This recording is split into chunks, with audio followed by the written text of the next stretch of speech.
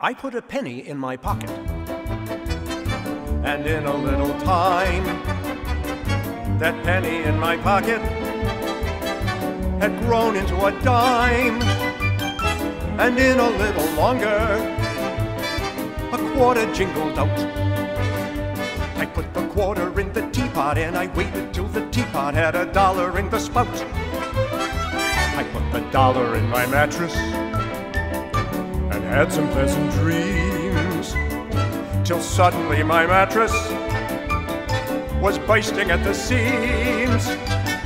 And that's how I acquired the wealth I now possess.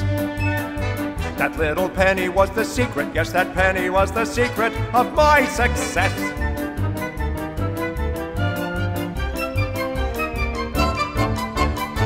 I had a penny in my pocket and not another sou. And with my only shy tail, I shined a rich man's shoe.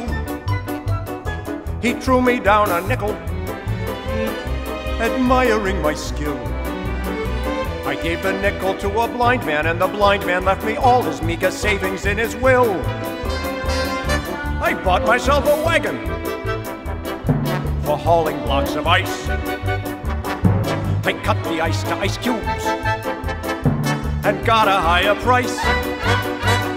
I shaved the ice to ices for still a higher fee. A big tycoon said, very enterprising in your organizing, son, you must come work for me. En route to work next morning, I helped a lady cross. The lady was, you guessed it, the mother of the boss. The boss said, You're promoted. I need you at my side. And then I met the boss's daughter, and I wed the boss's daughter, and quite suddenly she died.